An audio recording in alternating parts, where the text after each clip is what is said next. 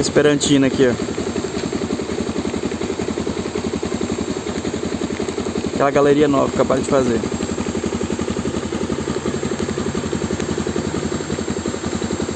Centenário debaixo d'água.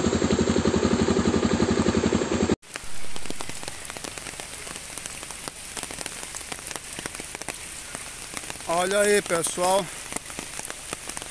a situação da Avenida Salvador muita chuva durante a noite alguém culpa o prefeito por enchente o prefeito tem culpa disso não hein não que eu queira defendê-lo, mas a realidade é esta.